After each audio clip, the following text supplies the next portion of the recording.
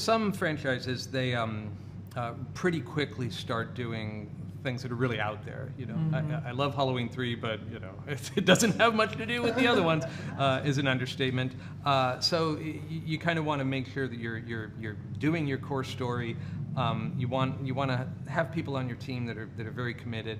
You know, and are, are giving their heart and soul to it. Uh, I think probably the closest comparison might be the Paranor- paranormal activity in its heyday because it also started as a as a very simple low budget story but um, the way they moved forward with it um, was kind of similar because uh, first it was a prequel to, to Paranormal One, and then it was a prequel to that, and uh, I, I, I don't even I think four might have been a prequel too, but but they, they tried to they tried to um, sort of interleave the stories all together, so you know they, they would be referencing each other in ways that were rewarding for the audience.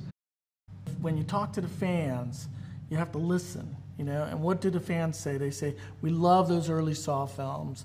We love Tobin Bell. We love that relationship with Amanda. You know, we want those traps to be diabolical and horrific. And you know, I feel like that's what we gave them.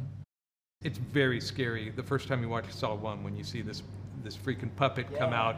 In in this one, l- we knew there was going to be cheering when he appears, and uh, we wanted to ride a little bit of the playfulness of, of just the absurdity of this puppet driving with no visible means. You know, James and I always talked about in, in Saw One. You know, there's there's this guy on the floor like pulling him forward and then pressing a button to make the mouth say, uh, you know, you, Much respect to that guy.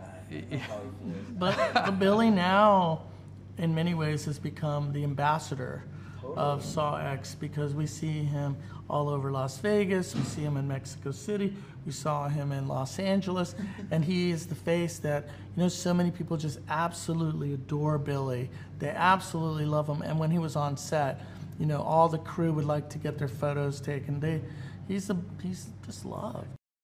We start with the pages, you know, the outline of those traps, and then it, it really starts getting into like taste, you know. So Kevin and I have our taste of what we want, what we feel is horrific.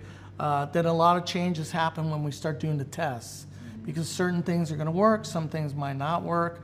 Uh, we want to emphasize uh, the brutality. Uh, you know, we put together uh, storyboards. The storyboards really, you know, tell us what we're doing. Sometimes it's not all of the crew. There's just part of the crew uh, running the wheels of the gears, uh, et cetera, et. But at the end of the day, we just want it to be a true reflection of John Kramer.